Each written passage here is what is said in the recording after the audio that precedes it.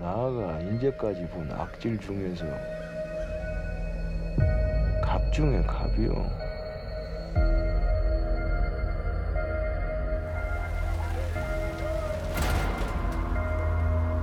요새 자꾸 동네에서 사람 죽어나가는 거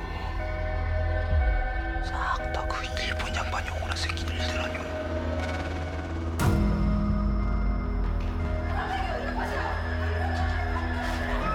세상에 계시다.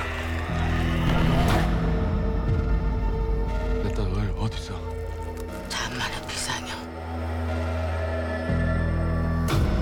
그때 진상의 사람들이라.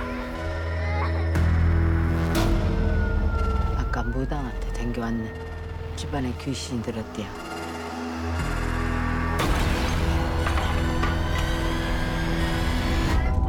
그 그놈이랑 뭔 연관이 있는 거요? 그냥 반 사람 아니오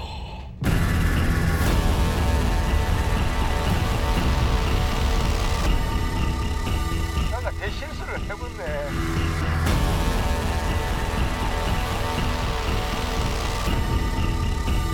여긴 못 들어온대.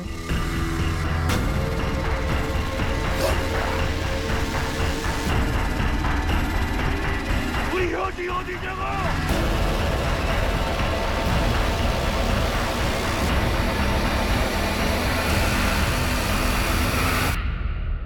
마음 단단히 먹어야 되네.